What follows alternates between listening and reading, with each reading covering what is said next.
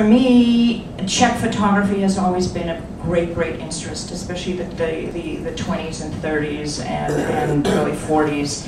Um, and if, if, someone would ever ask me if I would choose when and where to be alive, uh, I would say in the 1920s in Prague, because that's where all the art and the literature and the, the intellectual I mean, discourse was taking place. And I would have just loved to be sitting uh, in a cafe um, with all these artists and discussing life and truth, and uh, because I think that that's what was going on, and, and uh, hopefully we haven't lost that.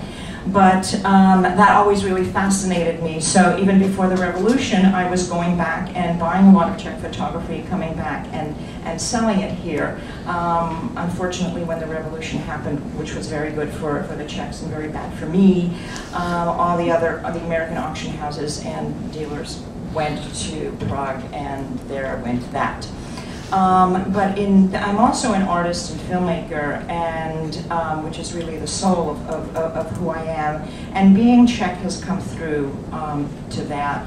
Uh, probably many of you here know uh, my personal story. My mother's a Lidice woman, and my husband and I made a film called In the Shadow of Memory, uh, which deals with um, growing up with my mother's stories. Obviously, I didn't live through it, but I did, um, I did live through my, my mother's stories, and she talked about it incessantly on, an, on a daily basis. Um, so it uh, really affected my life, and what I'm hoping is, is that my contribution uh, to the Czech world um, at large is this film, and I think that that's maybe being Czech is I'm hoping is is my largest contribution in this country. Most people don't know about Lidice, they don't know what had happened, but it also not only that, the telling the history of the event, but also it deals. It's very personal. It deals with. Um, secondary trauma and, and growing up with stories of, um, of trauma and, and hatred. I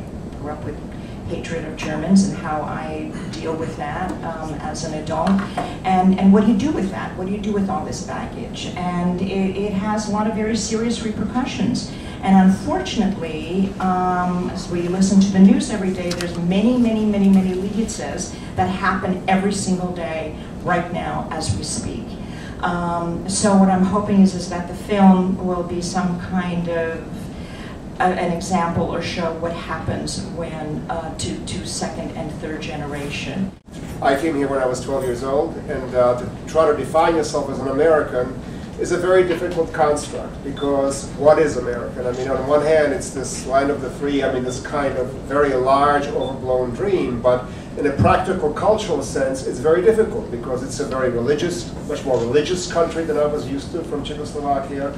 Um, school, for example, where I went is much easier, much sloppier, uh, much less rigorous. So you come to this kind of juncture in which, in, in, trying to figure out who you really are and where you really belong. That's really the ultimate question. And when I started working in film, and why I started working in film, is because I knew Czech films which other people didn't know. And there was something that was reflected me, certainly, my, my identity in those Czech films, but also it was a story of artists, of filmmakers, of uh, incredible films that Americans really tuned out of and didn't know. And so, quite naturally, it's like, you know, you see the dirt, you sweep it with a, with a, you pick up a broom and you sweep it. So the same thing, you see this issue and this problem, so I decided to try to fill that role. And that led to many, many years of 36 years of screening um, many, many Czech films, releasing many Czech films in, uh, on DVD or on video, doing lots of retrospectives, um, and doing lot, forming uh, big relationships with many Czech filmmakers. I think it was ultimately work that was perhaps not as important for, for the American audience even as much as it was important, particularly during the difficult years for the Czech filmmakers, many of whom couldn't work and didn't have their work shown in their own country. Some of, many of whom were in exile and were living here. So I remember my um, good friend and mentor, uh, Jan Kadar, who once asked what happens to a young filmmaker who cannot work. And uh, it's a very important question. I mean, what happens to an artist who is prevented from being known, from having his work seen, from being able to have his work work uh, actualized? And it's quite possible that those artists die. So having that work shown, having it presented, really became kind of a lifeline for many of those filmmakers, as I think Jerry's photography and having the photography being visible uh, in, in America was a lifeline for those photographers. And so being that, being able to be that conduit, being able to be that glue that uh, brings the art to people and gets it seen and appreciated became essentially my uh, life's work. And Czech, I certainly distribute and work with cultures of, from many, many different uh, countries and many different uh, cultures. But Czech cinema certainly was a very important and essential element because it's something that I know best and it's, it's who I am. So. When uh, we came over, I was three years old. Uh, we were sponsored by the Ravenswood Presbyterian Church, and I don't think you can get, you know, any more anglicized than being a Presbyterian. But uh, we didn't spend time in Cicero, we didn't spend time in, in Berwyn. We, we really, uh, uh, really made our allegiance to, uh, to the United States. And uh, it was at a time in 48, 50, I think most of you have heard of McCarthy and the uh, Red Scare and all the suspicion, and particularly of immigrants. And the more vanilla you could look, the better off you were. And so that was our modus operandi. And none of us were spies, none of us were communists, uh, none of us were Nazi sympathizers. We just uh, came to America to seek freedom. Just like Ludmilla, you know, she came to earn money, and she earned money faster. I, I like that uh, than uh, she could in Slovakia. But that, those were the motivations, and, and the parents kind of kept their. And I my mom, who is part of my history here. She's older than I am.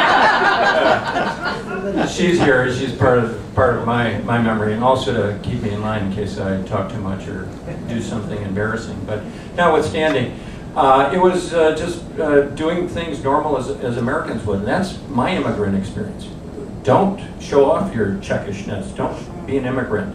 Be an American. You know, the problem was what's an American, and as uh, uh, you know, is it Roy Rogers? Is it, uh, you know, Lawrence Welk? And, and, you know, you kind of develop these images of people, and um, what we find out is that people have stories, and you know, not everybody's just an American. They have, they have a history.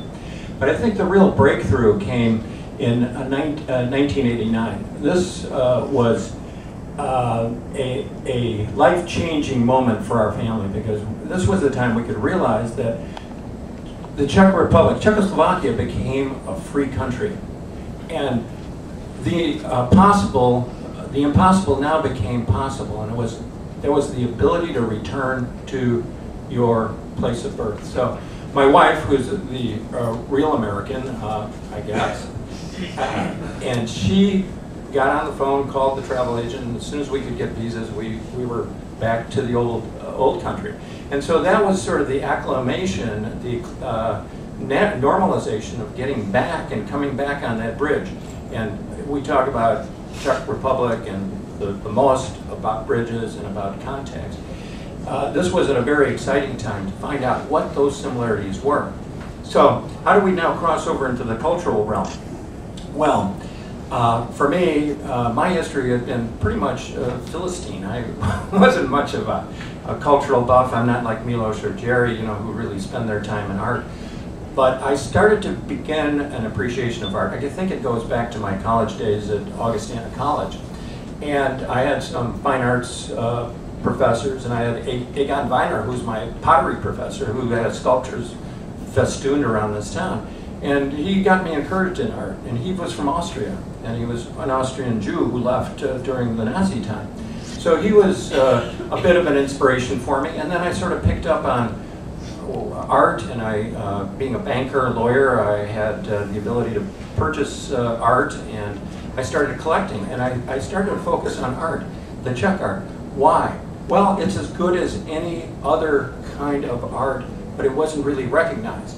And that's sort of the, the business instinct in me. It's saying you could get it for a pretty good price and still get high quality stuff. That's sort of a Czech trade, isn't it? hey, this is pretty good.